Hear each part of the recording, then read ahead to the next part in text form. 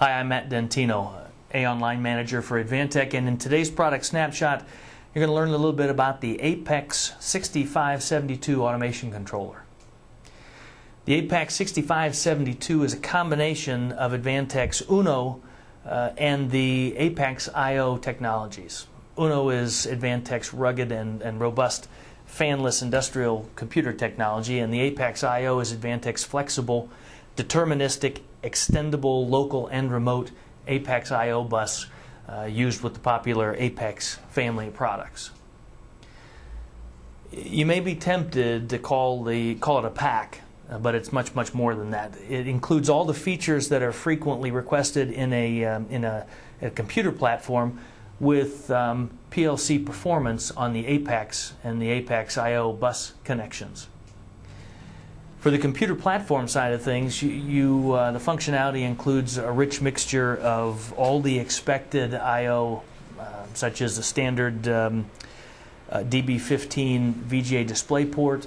It has four USB 2.0 ports, um, three RJ45 Ethernet ports, um, two RS232, uh, 422, and 45 configurable serial ports, as well as high definition uh, 5.1 audio. Inside, uh, the performance and the connectivity features include an Intel Atom D510 1.66 gigahertz uh, processor, 2 gigs of RAM, uh, 1 meg of battery backed up SRAM, which will hold in non volatile storage any program memory.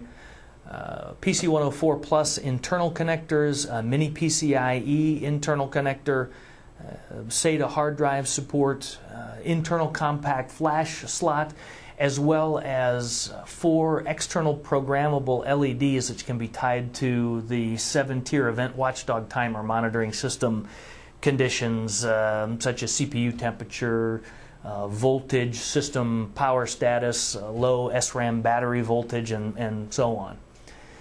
Uh, the system can be configured with any one of the most popular um, uh, operating systems, including Windows uh, Embedded Server 7, Windows uh, Embedded Server 2009, also known as Windows XP, and the Windows CE operating systems.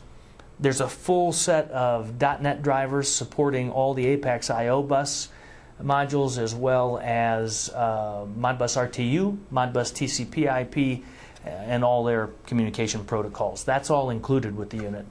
Um, popular control environments like KW and, uh, and the like are also supported with the APAX family. On the APAX I/O bus side of things, you have uh, four locally connected slots supporting all the all the APAX I/O modules, including both the APAX I/O bus and the APAX PCI bus modules. Uh, as well as uh, all the any of the APAX family of automation controllers. The I/O can be expanded uh, to 32 slots, and using either the local side connectors, which you see here, or a standard Cat5 Ethernet cable. The APAX 6572 has the computing power to accomplish the most challenging control applications, simultaneously facilitating data acquisition and concentration, as well as uh, meet your communication challenges, such as accommodating multiple protocols.